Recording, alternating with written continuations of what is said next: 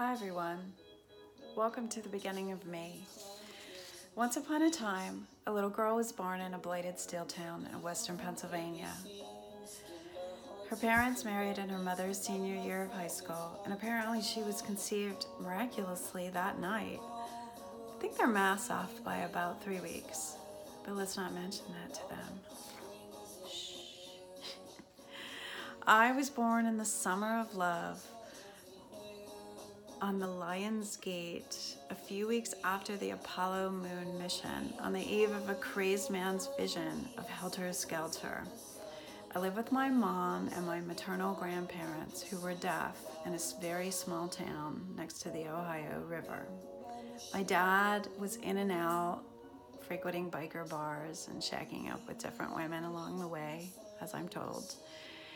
And I um, had an eventful first couple of years in and out of the hospital, having accidents, falling downstairs, running into things, and developing sepsis.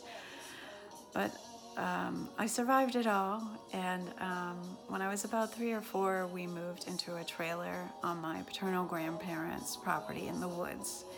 And um, this is when I began to develop a close bond with my paternal grandmother, who um, was originally from Western Pennsylvania and had a fourth grade education.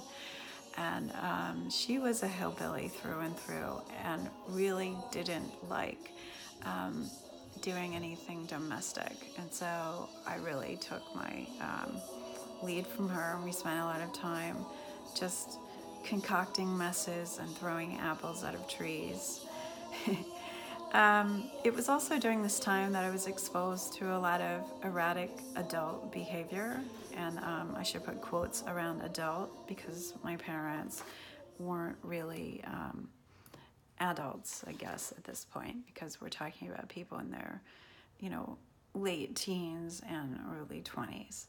Um, I remember in um, middle school coming home and realizing that all this silver foil that was all around our house was actually marijuana. And um, I also had the memory that I'd spent a lot of time in biker bars as a toddler, which was a happy memory for me um, until I realized that I would get dumped there by a very angry mother. But anyway, this just kind of goes to show that um, in the Maslow pyramid of hierarchy of needs, art really wasn't on the list. Um, I was, however, a very musical child. I love the Beatles. Led Zeppelin runs through my veins. I um, eventually would um, take piano lessons. We got a piano that was donated and um, would go on to sing in um, middle school and high school in the choir and in church. And um, also played the mallet instruments and was in jazz band. So that was my um, artistic outlet. That and being in the woods was my way of escape. Um, I remember being very proud of being a coal miner's daughter. And um, when that ended in the early 80s, my dad went on to do janitorial work. My dad really could draw anything, but he didn't really put that talent to any use. And um, I, however, was told it was a good thing I was smart because I wasn't very artistic. But let's just see how that unfolds.